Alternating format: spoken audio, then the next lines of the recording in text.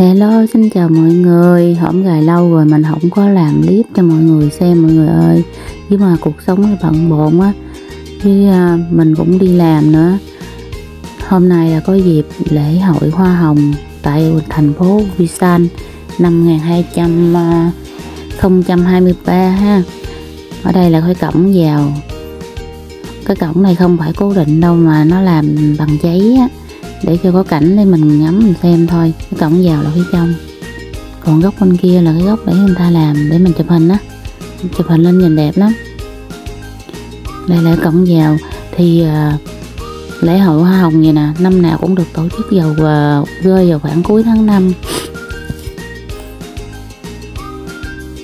tổ chức trong vòng 4 năm ngày vậy à đó à mọi người ơi từ ngày 24 à, tháng 5 cho đến ngày 28 tháng 5 thì tính ra cũng trong vòng 4 ngày ha. Thì hai vợ chồng mình đi rơi vào ngày 25 lúc mình vào vé vé ở đây rất là rẻ, có 2.000 v thôi. Tính ra không tới 40 ngàn mà Việt Nam đồng nữa, mọi người. Mà mình vào đây mình ngắm à, bao nhiêu tiếng cũng được hết, không có quy định giờ ha giờ buổi tối mình đi thì sẽ có ca sĩ hát phục vụ cho mình. Phục vụ trong vòng 3 ngày đầu á. Vào ngày cuối tuần á, thì có hay không thì mình cũng không biết. Thì do là hai vợ chồng đi làm rồi tới chiều tối á, thì mới rảnh á mới ra đây được là cũng 8 giờ tối rồi. Thì à, mình ngắm cho tới à, 10 giờ đêm thì cũng à, kịp giờ ngắm rồi ha nói chung vào đây á, thì à, anh xã mình nó thích nghe, nghe ca nhạc hơn là ngắm hoa nha mọi người. Chụp cho mình được vài bôi hình cái xong cái là anh nói thôi đi ngắm mình đi để anh à, cho anh xin đi à, xem ca nhạc. Rồi mình nói thôi anh xem trước đi rồi mình à, ngắm hoa xong lại mình xem cùng anh. Thì nói chung vào mỗi, mỗi năm năm nào mình cũng đi hết. Thì hoa nào cũng như hoa nấy thôi mọi người nhưng mà ngắm hoài không có chán tại vì qua mùa rồi á mà không có thấy hoa tới đợt hoa nở á mình cũng nôn nao mình muốn đi ngắm. Mình cuộc đời mà nói chung là cái gì đẹp cái gì thu hút á là sẽ thu hút mọi người về thôi ha. Cái gì đẹp cái gì hay là sẽ thu hút cái đó là cái lực tự nhiên này. Cho nên hai chồng bận cỡ nào bận là cũng hẹn tối nay. Không được tăng ca không được làm thêm giờ là phải về đi đến đây xem cho bằng được. Tại vì cuối tuần á, thì bận nhiều lắm nhưng mà cuối tuần cũng phải dành thời gian cho gia đình nữa. Cho nên mình cũng không có thời gian đi. Ở đây là mình quay cho mọi người cùng xem ha. Cái dạo này ở Hàn Quốc á, thời tiết cũng rất là mát mẻ cũng sắp vào mùa hè rồi. Nói chung ban ngày là nóng nực thì à, cũng không có nực nóng mấy thì cũng nằm rơi vào khoảng 20 20 ngoài độ đó nhiệt cũng hơi um, ấm ấm trời ha. Còn ban đêm thì nhiệt độ khoảng 10 18 19 độ C à nha mọi người. Thì rất là mát luôn. Thì rất là thích hợp cho mình đi uh, trải nghiệm ban đêm gì nè. Nói chung là ngắm hoa dưới ánh những ánh đèn á nhìn cũng đẹp lắm mọi người. Ban ngày á, nắng chói chang á, cũng nóng lắm mà nóng nực á người rồi mà chụp hình cũng không có được nhiều nữa. Nếu như ai có thời gian đi được thì đi buổi sáng sớm á.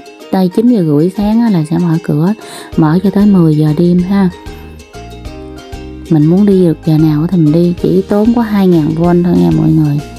Thì mình ngắm được nguyên ngày luôn. Nhưng mà nói chung là vào đây mình ta có thời gian rảnh giờ nào người ta ngắm giờ nấy chứ không có ai mà ở ngắm nguyên ngày nguyên đêm đâu ha như đa phần á, thì là buổi tối thì sẽ đông khách hơn là do tính chất công việc rồi á.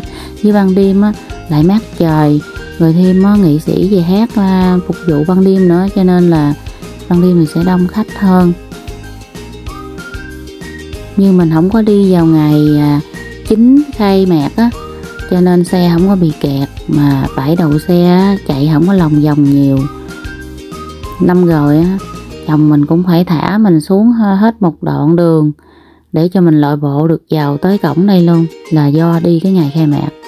Tại vì ngày khai mạc người ta đi đông là lý do là diễu hành.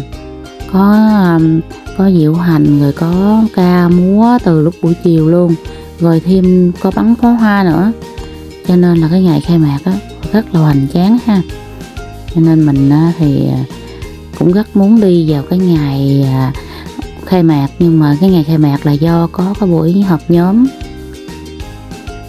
Mà thôi ngắm ngày nào cũng được mà nếu như được ngắm là đã vui đã hạnh phúc rồi.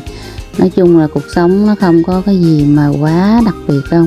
Chỉ cần mình dành một chút thời gian nho nhỏ để mà vui vẻ cùng người thân bên cạnh mình á, là cái đó là cũng là một cái niềm vui rồi ha. Hoa hồng là nói chung là tượng trưng cho tình yêu thì màu sắc nào của hoa hồng cũng là cái màu tình yêu hết nha mọi người. Chứ không phải nhất thiết là màu đỏ. Tại vì mình thấy ở đây rất rất nhiều màu luôn. Nói chung hồng nhạt, hồng đậm, đỏ đậm, đỏ lợt, rồi màu vàng, màu trắng, đủ thứ hết. Đi vào đây là giống như lẹt vào một cái thiên đường hoa vậy đó. Rất là rộng lớn nhưng mà mình chỉ quay à, tượng trưng cho mọi người xem một khúc nhỏ thôi ha còn phía bên cánh, hai bên cánh gà, bên hông nữa nhiều lắm. Nói chung là muốn đi giáp ở đây thì mình cũng phải bỏ ra từ 2 tiếng đó là mình muốn đi giáp đó nha. Nếu như ngắm từ từ mà vào đây á ha, mất 3 tiếng đồng hồ á là chuyện bình thường thôi mọi người. Hai vợ chồng vào đây á, nói chung là hai tiếng đồng hồ nhưng mà trôi đi rất là nhanh. Tại vì mình muốn nhìn hoài nhìn hoài á. Mỗi hoa mỗi khác với cái à, cái size, kích cỡ hoa nó cũng khác nhau, nó loại nhỏ nhất rồi loại to nhất hơn, bự hơn cái bàn tay mình cũng có luôn nữa.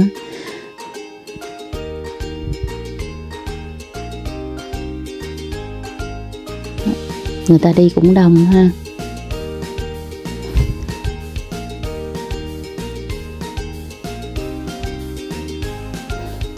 Hoa này là nó to hơn cái bàn tay mình luôn á, để cái bàn tay vô mà không có giáp được cái cánh hoa luôn á.